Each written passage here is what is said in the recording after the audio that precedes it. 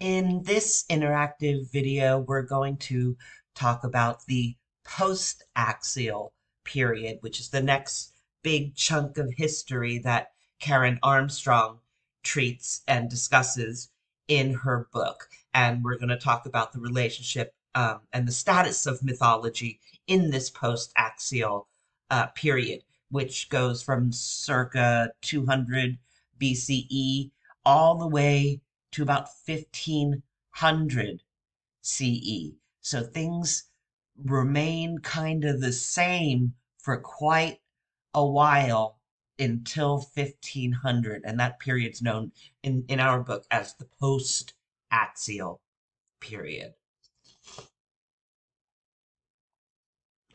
So first, taking a look at the concept, just the concept of the post-axial age. Um, essentially, it's characterized by the development of the foundations that were laid down in the axial age. So the sorts of ideas and paradigm shifts and changes that occurred during the axial age are developed and kind of ferment and um, grow during the post axial age. And religiously speaking, monotheism is cemented through the Abrahamic religions, which are Judaism, Christianity, and Islam, all of which, however, claim to be historically rather than mythically based. And philosophically speaking, rationalism begins to flourish, then it takes a backseat to religion, and then it begins to flourish again throughout this long period of history. And rationalism is arguably hostile toward myth and mythos, which mythos again is is mythological thinking. Um, rationalism deeply favors reason and logos as the supreme power of the universe. However, and importantly, Neither the Abrahamic religions nor Greek rationalism could dispense with myth entirely. They still needed it. They all continued to use mythology to explain their mystical insights or to, to respond to a crisis. So, in um, in some ways, you can consider the post-axial period as kind of like a mythological hangover, right? So first we'll look at uh, Judaism. So remember that Judaism is the oldest of the monotheistic re religions. And just as a reminder, monotheism means belief in one God only, as opposed to um, as opposed to let's say like the um, the ancient Greeks who believed in many different gods, which is known as pantheism, right? So Judaism is the oldest of the monotheistic religions, and it emerged from polytheistic Yahwism during the Axial Age. And Judaism carried on mythological elements of Yahwism, including the creation story, uh, the Garden of Eden, flood, um, and heroic and national myths. So Judaism as a monotheistic religion emerged from polytheistic, excuse me, polyis, um, I did it again, polytheistic Yahwism, and Yahwism was deeply mythological. So Judaism carried that on throughout this period. And there were also Jewish mythological and supernatural beings that were written about during this period, the early part of this period, mind you. Um, so we've got uh, angels and golems and Dybbuk's and uh, Leviathan. Well, this is Dybbuk's up here. And Leviathan and um, the Witch of Endor. Those are all some Jewish and mythological slash supernatural beings that were still um, being discussed and about whom stories were being told, i.e., myths were being generated um, during this period.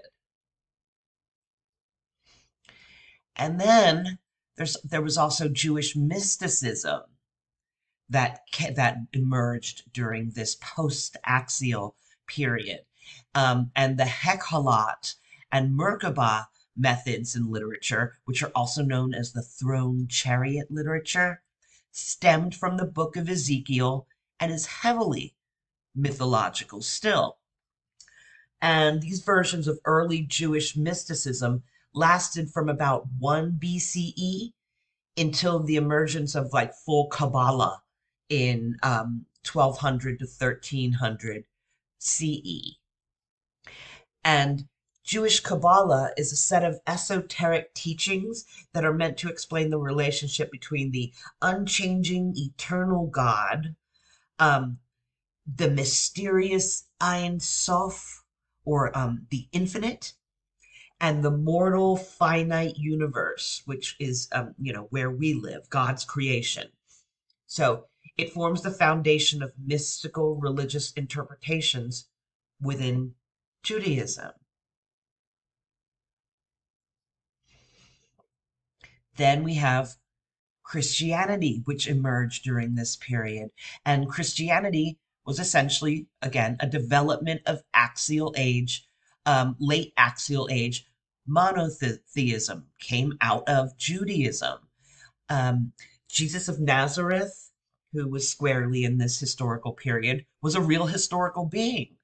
But his disciples and Paul the Apostle essentially transformed him into a mythical figure, um, borrowing from the old stories of sky gods and human divine births and immortality. And hopefully, you can remember these story these stories and myths from um, earlier in the course. Well, Christianity developed out of Judaism and all of these like Paleolithic and Neolithic era mythological um, beings and stories. And St. Paul spread the teachings of Jesus in the first century world and created Christian communities in Asia Minor and Europe between 30 CE, which was roughly around Jesus, the, the time of Jesus' death, and 50 CE. And the main myth here was that God sent his son to earth, the son was crucified and resurrected for the benefit of humanity. Um, the son would soon return from the dead, and those who belonged to the son would live with him forever. So that's um, the the that's the myth or the story in Christianity. And again, remember, this is a humanities class in um, mythology. So it's meant to take a humanities approach. This isn't a the- theology class or a religion class. So no offense when we if when we refer to Jesus' story as mythological, right? This is a different perspective. It's the perspective that this course takes. Just reminding you. Okay. Other religions recognize and revere Jesus, but don't subscribe to the way he was mythologized, which is very interesting. Like, for instance, Judaism doesn't accept Jesus as the Messiah, didn't believe he was divine or resurrected. And Islam often accepts that his virginal birth or accepts his virginal birth, but rejects that he was God incarnate or Son of God, and also rejects that he was crucified and resurrected. Instead, he was raised into heaven, according to some Islamic traditions. So it's an interesting point is that both of um, these religions, the other two big monotheistic religions, say, yes, there was a Jesus, but Judaism says, but he wasn't the Messiah and he wasn't divine and he wasn't resurrected. He was just a man. And Islam says, okay, maybe he was born of a virgin, but he wasn't the son of God and he wasn't divine and he wasn't resurrected either. He just was raised into heaven. It's Christianity that accepts this, um, that accepts the um, ascension, the resurrection, and the ascension into heaven.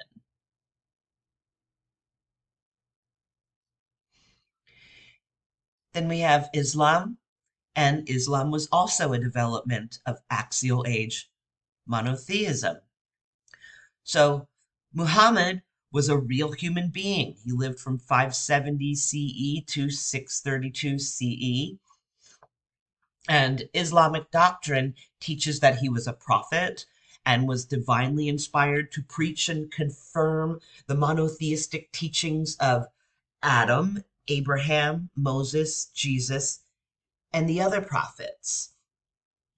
And Islamic creation myths are similar and sometimes the same as those found in Judaism and Christianity, no surprise. And Islamic mythology incorporates spiritual entities as well, like um, angels, which are good, and um, jinn, which are morally ambivalent, like neither good nor bad, kinda, and shayatin, which is which are the bad ones.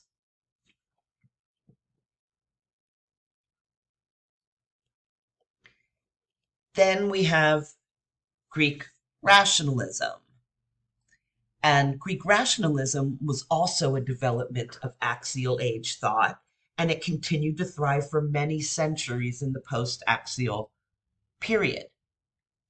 And this means that logos was emphasized and mythos was considered old fashioned and irrational. So, this attitude toward mythos and the mystical experience influenced Christian and Muslim scholars to attempt to quote unquote rationalize their religions. And what was in that this was a very interesting time in um, in history. This uh, this was around let's say like 1100s. Um, we have Saint Anselm's ontological argument for the existence of God, where he's trying to lay down a rational proof for God's existence, like an argument with premises and conclusions. Um, we have St. Aquinas's five proofs for the existence of God, five different reason based, logical, logic based arguments for the existence of God. Notice the difference. Um, in earlier times, God was um, made himself known or became known by people through a mystical experience, through mythos, through some sort of spiritual intuition. And and as a result of Greek rationalism, we have attempts to say, let's use logic to prove God's existence instead of this mystical, mythological, um, spiritual approach. And then also the Falsafa, uh, Mu'tazil, and Kalam schools of Islam strove to eliminate or at least delimit the mythological and mystical elements of Islam. So this is how Greek rationalism, which began to develop and and ferment during this post-axial period, eventually influenced um, religion. Uh, Christianity and, and Islam started to try to incorporate or portions, right, segments of Christianity and Islam began to want to um, incorporate more logic and logos and de emphasize myth and mythos. So then we have our takeaways from Karen Armstrong's argument here. After the axial age, there'd be no comparable period of change, no period of change that quite measured up to the axial age for over a millennium. So, in spiritual and religious matters, we still rely on the insights of the actual uh, axial sages and philosophers, and the status of myth remained basically the same until the 16th century CE. It had been um, demoted but it wasn't dead yet. It still was the kind of hung around as either something to work against or incorporate a few elements of, but it certainly wasn't gone. Again, uh, my analogy here is it, it was like a myth hangover during this period. And The big three monotheistic faiths claim, at least in part, to be historically rather than mythically based, right? Because history, as logic and logos be, started to be, take a more dominant role in history, it follows that you want to base your religions on something that you think actually happened in the past. You say, no, this actually happened. This really happened. It's not just a story. So we see these sorts of um, claims emerging and being um, spread in the monotheistic religions. And because of the uneasy attitude toward myth, which had entered um, the Western mind with Plato and Aristotle, monotheists would periodically try to make their religion conform to the rational standards of philosophy. And just at the moment when Jews and Muslims were beginning to retreat from the attempt to rationalize their mythology, Western Christians seized on the project with an enthusiasm that they would never entirely lose. Again, that enthusiasm was one to, was to rationalize their mythology was to embrace more logos and de-emphasize mythos, embrace more quote unquote rational and logical thinking, and um, and negate or dismiss the um, mythological um, and spiritual sort of thinking. So, as a result, throughout this period, remember this was a long period, um, people started to lose touch, Armstrong argues, with the meaning of myth. So, the next great transformation in human history, which would make it really difficult for people to think mythically, had its origins in Western Europe. And that is the next historical period, the next and the last historical period that we'll take a look at in the next um, interactive video. It's the last period that Armstrong discusses. It's and it's the end of the book. It's the last chapter. Excuse me. So, quick again, topics covered. Um, mythology and post-axial age thought in the West. And we took a look at some changes that were occurring um, in uh, Judy. So the really not just changes, but the emergence of the mon- the big three monotheistic religions during this period, which were Judaism, Christianity, and Islam. And we took a look at Greek rationalism and the impact it had specifically on Christianity and Islam, right? And the role that the the ever steadily decreasing role that myth mythos and mythology was playing in post axial age thought. Once again, just as a reminder, post the post axial age um, is covers 200 BC to 1500 CE. So that's a 1700 year period that all of this occurred in. And then we covered um, Karen Armstrong's her the takeaways from her argument there.